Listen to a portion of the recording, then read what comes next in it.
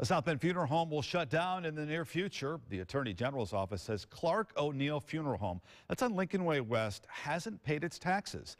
The WSBT 22 Fact Finder team is looking into this tonight. Suzanne Spencer is here with what we found. Suzanne.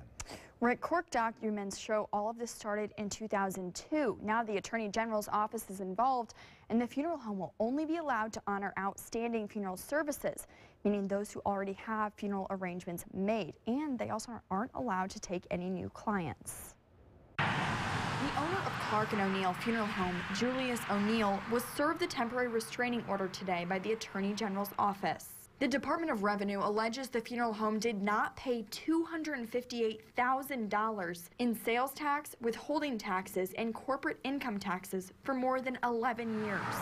When we knocked on the funeral home's door and the owner's home, no one answered. O'Neal did answer a few questions on the phone, saying the $258,000 sum that he owes is an estimate. He said his attorney will be working to get this resolved in the coming days. O'Neal's attorney did file a motion to set aside the temporary restraining order. In the meantime, the funeral home has three scheduled funerals this week and one pending funeral. Those will be honored, even though the funeral home does not have a license to operate in the state of Indiana, according to court documents. Those documents allege their certificate to operate expired in April of 2013.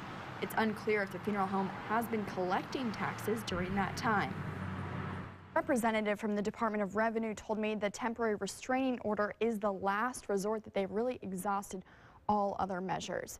So the, that really actually means they've made repeated attempts to try to do this, and this is kind of the last resort to pay that 258000 And Suzanne, all of this happened today. Where is the case going forward from here? There's a hearing next week scheduled where the judge will decide if the business will be, be able to even stay open or if it will be permanently closed.